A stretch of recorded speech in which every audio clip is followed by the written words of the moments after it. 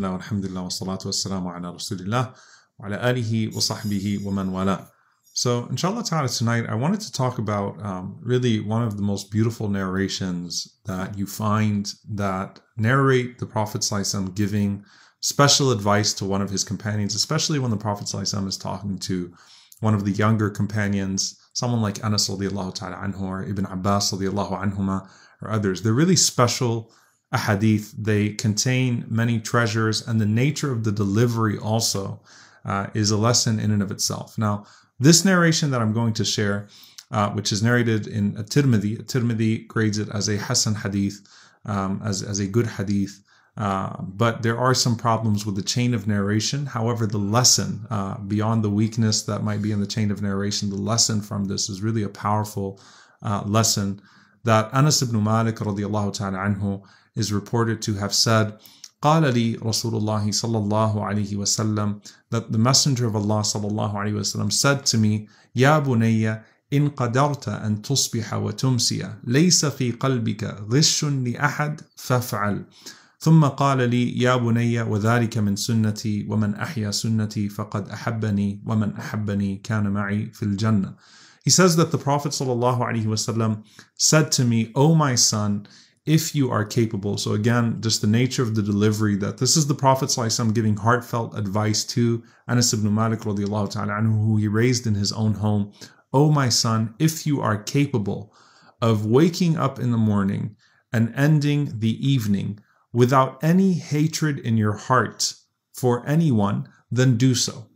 So he's telling Anas radiallahu ta'ala anhu, Oh my dear son, look at how you wake up in the morning and look at how you sleep at night. If you can do so, removing all grudges from your heart when you wake up and when you sleep at night, then do so. And then he says to me, Oh my son, and this is from my sunnah, this is from my way. And whoever revives my sunnah, then he has loved me, and whoever has loved me will be with me in paradise. May Allah subhanahu wa ta'ala make us the companions of the Prophet, peace be upon him, in paradise. Allahumma ameen. So let's talk about this, inshallah ta'ala. It's such a beautiful narration that we have to break it down from start to finish, inshallah ta'ala. Number one, the Prophet speaking to him giving him heartfelt advice. He loves him, he cares about him. And this is advice that has a certain level of seriousness to it. That this is life advice for your spirituality to excel in this life and in the hereafter. But the second part of this, when you wake up in the morning and when you sleep at night. Now, subhanAllah, there are uh, numerous narrations and stories about sleeping at night and making sure that you purify your heart when you sleep at night. But, you know, this one actually mentions how you wake up as well. And if you realize in our deen, there is an emphasis always on the beginnings and on the endings, right? That you start your day right and you end your day right. There is athkar al-sabah and athkar al-masa, the morning remembrances and the evening remembrances. There is what you say when you sleep, you know, and then what you say when you wake up. You go to sleep uh, saying Allah to Allah subhanahu wa ta'ala, Bismika Allahumma amutu ahya. That in your name, O Allah, I uh, I, I, live and I die. And then you wake up in the morning, Alhamdulillah, ahyana ba'dama amatana uh, wa nushur, that uh, all praises be to the one who gave us life after death, and to him is the ultimate uh, return. So you have the beginning, you have the end, you have the morning remembrance, you have the evening remembrance, you have what should come to your heart and to your tongue as soon as you open your eyes, and what should come to your heart and your tongue as soon as you close your eyes. So you wake up and you start the day right. You start your morning right by setting your priorities properly, by focusing your heart on Allah subhanahu wa ta'ala and removing anything that's going to be a distraction from having that focus on Allah subhanahu wa ta'ala. And then at night, you, you make it a point to actively remove grudges from your heart. The best way this can be achieved is to actually make dua for the person, to pray for the person and to uh, to ask Allah subhanahu wa ta'ala for forgiveness for them and goodness for them. So every morning and every night you actively purify your heart of those grudges. And then this part here, oh my son, this is from my sunnah. When you think about the sunnah of the Prophet wasallam, and all of the sunnah is blessed and all of the sunnah is relevant, none of it is to be discarded, not that which is major nor that which is minor. It is all the sunnah of the Prophet wasallam. When you think about the sunnah of the Prophet wasallam, Think about this being a part of his sunnah, removing grudges. And imagine what it was like for the Prophet ﷺ to consistently, over a course of 23 years, welcome people into his community that had done horrible things to him, right? Until the day of his death, wasallam, the Prophet ﷺ was welcoming people into his ummah that had killed family members, that had run him out of Mecca, that had put him through all sorts of things, that had harmed him in so many different ways. And the Prophet ﷺ is accepting their repentance and accepting them into the community and not mistreating them, nor reminding them of the harm that they committed against him.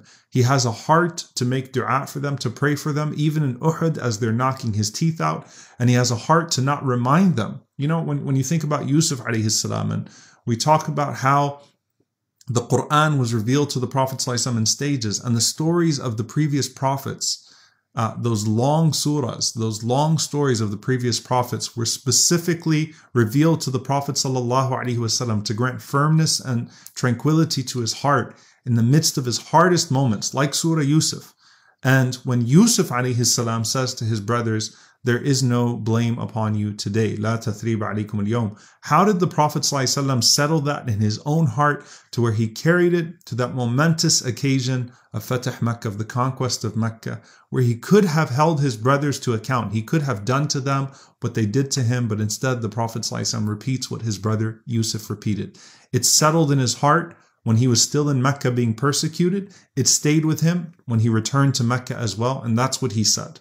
لا تثريب عليكم اليوم right that there is no blame upon you today may Allah subhanahu wa ta'ala forgive you it's powerful right that this is the sunnah of the prophet ﷺ, the people that tried to kill him the people that killed his family members the people that persecuted him the people that caused him all sorts of hurt people within the community that might have said things to the prophet ﷺ and done things to the prophet ﷺ and out of his mercy, he did not retaliate or mention it to them. And he could have held it in his heart and maybe, you know, give, given a sharper khutbah or a harder task to those people in the community that gave him some harm. But the Prophet constantly lets it go. In fact, one of the miracles of the Quran and one of the proofs of its divine authorship is how after the slander of Aisha radiallahu ta'ala anha, if this was the Prophet authoring the Quran and not divine revelation, do you really think it would have been وَلْيَعْفُوا وَلْيَصْفَحُوا أَلَا تُحِبُّونَ يَغْفِرَ اللَّهُ لَكُمْ Forgive and show mercy, pardon, overlook those who have who, who have who have harmed uh, harmed the Messenger ﷺ with this horrible slander. Don't you want Allah subhanahu wa ta'ala to forgive you and show mercy to you? If this was a man, alayhi salatu wasalam, who was, as they, they claim, authoring the Quran himself and doing it in accordance with his personal goals, wouldn't it have been one of, uh, you know, of a vindictive nature of going after those that harmed him? Rather, it was forgiveness and pardoning and mercy. So you think of the Prophet wasallam, and this is his sunnah, right? This is certainly his sunnah of how he dealt with the people that harmed him in his own community, uh, before they came into the community and even those within the community uh, afterwards, maybe unknowingly often in what they might have said or done to the Prophet wasallam. But he makes it a point wasallam, to remove anything from his heart against them. He does not want to meet them wasallam, with hard feelings. He doesn't even want members of his community to tell him things about other members of the community in a way that he might have hard feelings towards them alayhi He wants to have a heart that is always salim, that is always at peace with everyone that's around him. And he's making it a point to tell Anas radiallahu ta'ala anhu, this is my sunnah. This is how I am. I am not telling you to do something I don't do, and no one has been harmed more than the Prophet sallallahu called names, slandered, persecuted than him. Yet still he finds it in his heart, sallallahu alaihi wasallam, to always forgive people, to have the capacity to forgive them, even to the moments of their death. The Prophet ﷺ had a heart that would have been willing to accept Abu Jahl had Abu Jahl repented and turned back to Allah and sought forgiveness for everything he put the Prophet ﷺ through. The Prophet ﷺ had the heart to not only forgive Ikramah ibn Abi Jahl, the son of the Pharaoh of this ummah, for what he had done himself and what his father had done, but he had the heart to even tell the Muslims to be sensitive to Ikramah by not mentioning his father in ways that are humiliating around him, not calling him Abu Jahl and calling him by name in front of Ikramah radiallahu ta'ala anhu in a way that would hurt his feelings. That was the heart of the Prophet That was not easy. That is part of the ingredient of his qiyam, of his praying at night, and all of the, the things that we read about him, alayhi salatu wasalam, standing in gratitude, weeping at night, prostrating at night, reciting the Quran at night, in that solitude with his Lord subhanahu wa ta'ala. So that's the sunnah of the Prophet sallallahu not just something he tells us to do, something he had to do harder than anyone else. And then the Prophet sallallahu alaihi wasallam says to him, "O oh my son, that is my sunnah, and whoever revives my sunnah, فقد أحبني قل إن كنتم تحبون الله فاتبعوني يحببكم الله ويغفر لكم ذنوبكم as Allah says in Surah Ali Imran say if you truly uh, love the Prophet sallallahu alaihi wasallam then follow the Prophet sallallahu alaihi wasallam and Allah will love you back and Allah subhanahu wa ta'ala is all forgiving and all merciful. So the love of the Prophet ﷺ is connected to the following of the Prophet ﷺ sunnah. May Allah allow us to adhere to his sunnah in every way. Allahumma ameen. And then he says, and whoever loves me shall be with me in paradise. What a great incentive, subhanAllah, that the closest to the Prophet ﷺ in Jannah are those who prostrate the most. And prostration is the the, the hallmark of the Prophet ﷺ's worship, those that stay in a place of sujood. The closest to the Prophet ﷺ on the day of judgment are those that had the best character. And the Prophet ﷺ, إِنَّمَا بُعِثْتُ لِأُتَمِّمَ مَكَارِمِ الْأَخْلَاقِ وَإِنَّكَ لَعَلَى خُلُقٍ عَظِيمٍ he was only sent to perfect our good character. And so we become more like him when we perfect our character. And the closest to the Prophet ﷺ on the day of judgment are those that adhere to his sunnah. May Allah subhanahu wa ta'ala allow us to adhere to his sunnah in the most holistic way. And the closest to the Prophet ﷺ on the day of judgment are those who send salawat on him most frequently. اللهم صل وسلم وبارك على عبدك ورسولك محمد صلى الله عليه وسلم. May Allah send His peace and blessings upon him his family, his companions, and allow us to be joined with him in the highest level of Jannat al-Firdaus. Allahumma ameen. جزاكم الله خيرا والسلام عليكم ورحمة الله وبركاته